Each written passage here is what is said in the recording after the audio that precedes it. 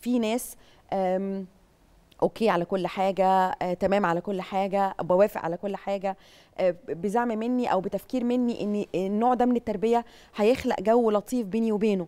فكل حاجة براحتك كل حاجة براحتك. أحدث الدراسات قالت نقول لأ ولا نقول آه ولا نقول براحتك.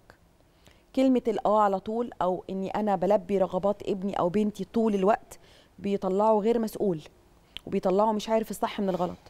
كلمة لأ اللي طول الوقت أو على معظم رغباته أو طلباته بتخلق نوع من يا إما م- عنيد معايا أو منقاد من الآخرين.